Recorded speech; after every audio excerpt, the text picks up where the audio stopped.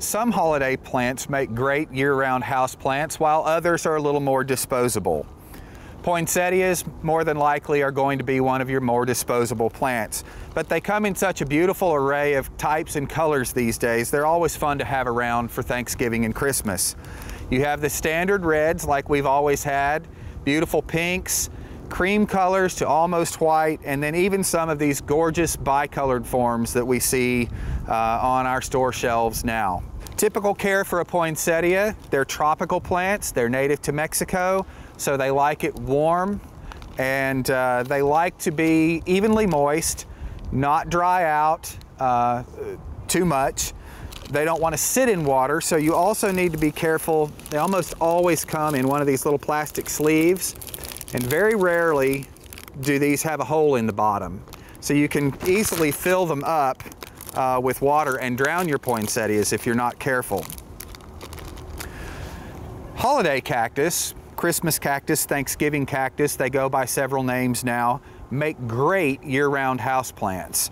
They're easy to grow and they're easy to get them to rebloom every year because they respond to the short days as the days of autumn get shorter the cactus respond to the shortening of the days, more dark hours at night, and they'll set buds just like this one is and flower sometime between Thanksgiving and Christmas depending on the conditions in your own home. One thing that I'll say about both of these plants, if you uh, try to keep your poinsettias over from year to year, they're not hard house plants to grow, but they are a little more difficult to get to bloom.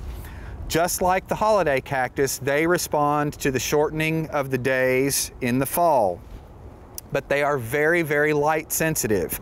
A lamp on in another room, a street light shining in from a window will be enough light to cause your poinsettias not to reflower.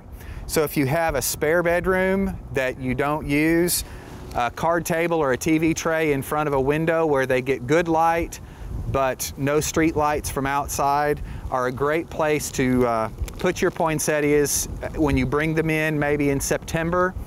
And then as the days naturally get shorter, it will cause them to flower uh, around the holidays.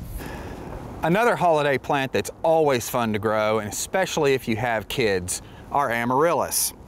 These giant bulbs will produce at least two stalks and sometimes three of big trumpet-shaped blooms ranging from red to white to pink.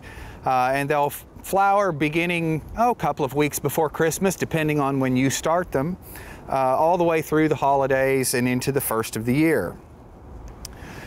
Now, most people just take an amaryllis, pot it right up in a pot, water it, and expect it to grow. But I'm going to give you a couple of uh, industry tricks to uh, get your amaryllis off to an even better start. And one of those is to soak the roots over overnight or even for two nights in some water. So you set them in something like a measuring cup or a vase, top of a vase. You're gonna fill to about here.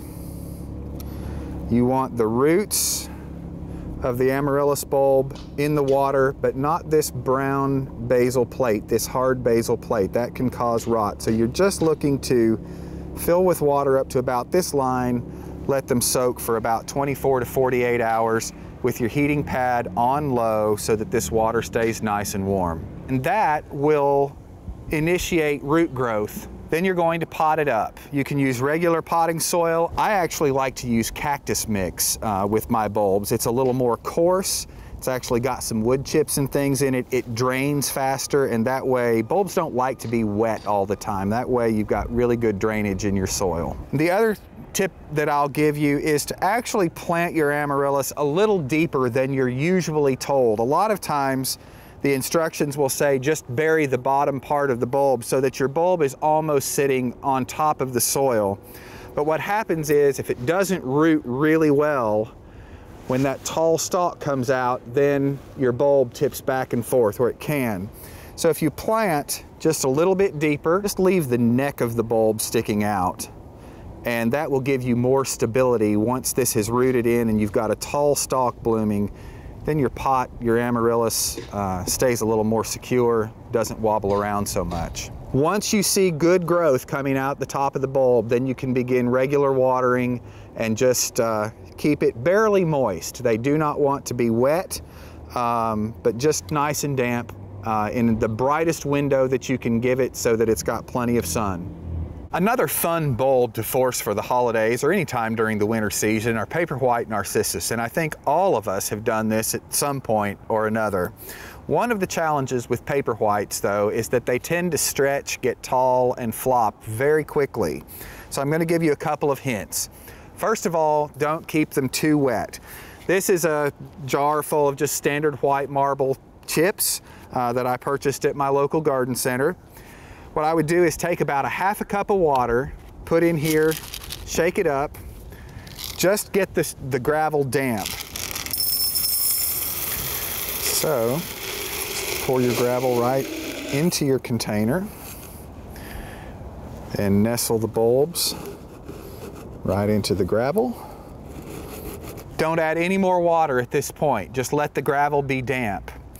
Once you can stick your finger down in there three or four or five days from now and it's dry in the top half inch or so, add just a little bit of water, maybe two or three tablespoons at the most. So you never want this basal plate to actually sit in water because it can rot. You just want water, enough water to get roots to form and the roots will go down into the water. One other thing that you can do for winter interest and winter bloom indoors is force spring bulbs. This takes a little more know-how and I'm going to give you a couple of quick tips on how to do this successfully. You can force tulips, you can force daffodils, uh, you can force grape hyacinths, crocus, any of those little small spring flowering bulbs.